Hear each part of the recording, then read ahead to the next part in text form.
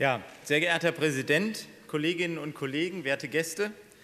Der Titel Perspektive für die BVG Investitionen in den ÖPNV täuscht über den eigentlichen Zweck dieser Aktuellen Stunde hinweg, nämlich das notdürftige Zusammentackern der letzten Reste dieser Regierungskoalition. Denn nichts anderes ist es, wenn im historischen Ambiente einer alten U-Bahn im Bahnhof Alexanderplatz am vergangenen Donnerstag, den 7.1., ein Letter of Intent unterschrieben wird, in dem das Püree aus dem letzten Jahr aufgebraten wird. Darin wird eine Fahrzeugfinanzierungsgesellschaft vereinbart, die dieses Parlament in den Haushaltsberatungen für 2016-17 bereits letztes Jahr beraten und auch beschlossen hat und die längst begründet wurde, die längst gegründet wurde. Diese Koalition stellt diese Stadt nun vollends von den Füßen auf den Kopf. Erst wird alles unter Dach und Fach gebracht und dann wird eine Absichtserklärung unterschrieben. Und lassen Sie mich zu diesem Vorgang noch eins sagen. Wenn sich das Land Berlin mit der BVG, einem zu 100 Prozent landeseigenen Unternehmen, über ein Letter of Intent einig wird oder ausgedrückt dieser Senat mit sich selbst einig wird, oder an, dann mag das ein ganz großer Wurf für diesen Chaos-Senat sein, aber sicher kein großer Wurf für diese Stadt. Und ein Thema für die Aktuelle Stunde gleich gar nicht, wenn man sich ansieht, wie Innensenator Henkel zwischen Ausweitung der Videoüberwachung auch in den S-Bahnen und, den, äh, und der BVG und anderen äh, kruden, nicht umsetzbaren Ideen herumirrt oder mit welchem Nachdruck sich Sozialsenator Czaja um die absolut akuten Notstände im Lagi so nicht kümmert. Aber zum ÖPNV und zur BVG gibt es natürlich auch noch etwas zu sagen. Denn wie sieht hier die vorgestellte Perspektive des Senats für, den, für die BVG der kommenden 20 Jahre denn wirklich aus? Die Koalition will die jährlichen Zahlungen an die BVG im Jahr 2020 leicht um 50 Prozent Millionen Euro, um 50 Millionen Euro auf rund 700 Millionen Euro im Jahr erhöhen. Das entspricht gerade einmal einem Zuwachs von 7 Prozent gegenüber den knapp 650 Millionen Euro, die das Land derzeit jedes Jahr überweist.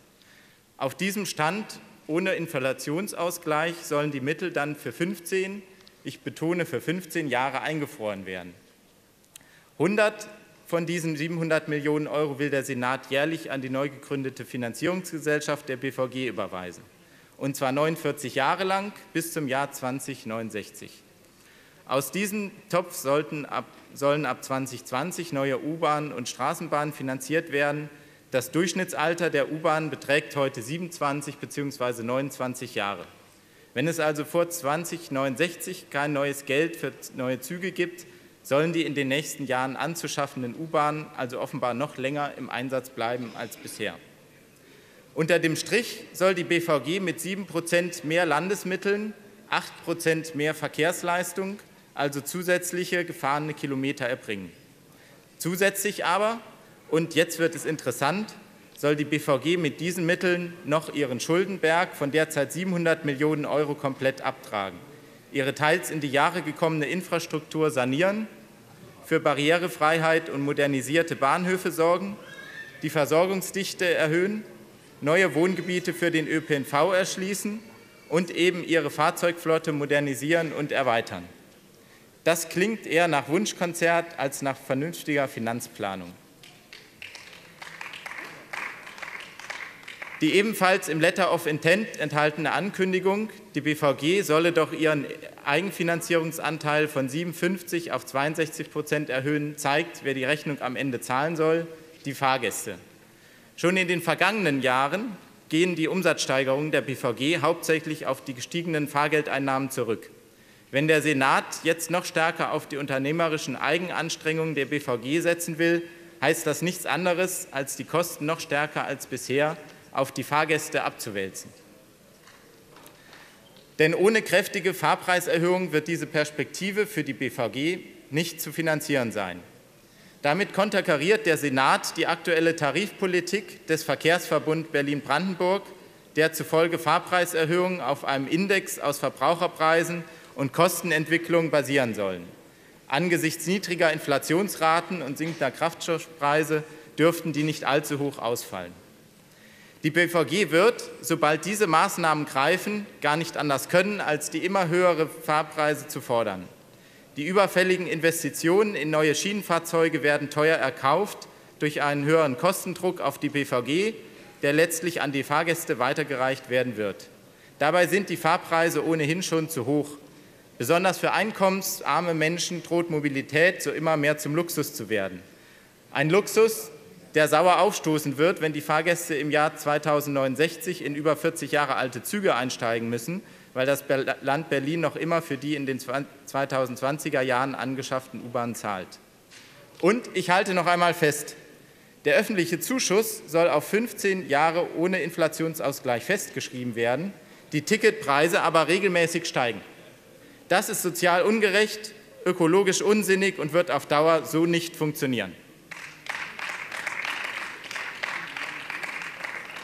Und eine Politik, die öffentliche Zuschüsse begrenzen will und stattdessen auf unternehmerische Effizienz und Fahrpreiserhöhungen setzt, riskiert Folgeschäden, wie sie im Extremfall in der S-Bahn-Krise auftraten. Stattdessen gilt es, die Finanzierung des ÖPNV ganz neu zu denken. Wie wäre es mit innovativen Tarifmodellen, die sich an der Erfolgsgeschichte der Semestertickets orientieren? Solidarisch finanzierte Tickets für Schülerinnen und Auszubildende würden nicht nur sichere Einnahmen bei niedrigen Fahrpreisen ermöglichen, sondern auch junge Menschen früh an umweltfreundliche Verkehrsmittel binden. Auch für Landesbeamte und Angestellte des öffentlichen Dienstes oder für Seniorinnen wären solche solidarischen Ticketmodelle denkbar. Außerdem gilt es, weitere Finanzierungsquellen zu erschließen. Der öffentliche Nahverkehr ist ja nicht nur Transportmittel für Fahrgäste, sondern Teil der kommunalen Daseinsvorsorge. Von einem stadtweit verfügbaren, leistungsfähigen ÖPNV profitieren auch Arbeitgeber, Grundstückseigentümer, der Einzelhandel und nicht zuletzt Autofahrer. Denn ohne den öffentlichen Nahverkehr würde der Verkehr in Berlin zusammenbrechen und Stau zum permanenten Zustand werden.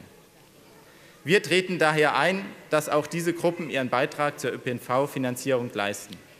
Unsere langfristige Perspektive für die BVG heißt jedoch fahrscheinlos. Ein für alle zugänglicher, solidarisch sowohl von den Fahrgästen als auch von Nutznießern finanzierter ÖPNV, begleitet von massiven Investitionen in den Fuß- und Radverkehr, wäre eine zukunftsweisende Antwort auf die aktuellen verkehrs- und umweltpolitischen Probleme der Stadt.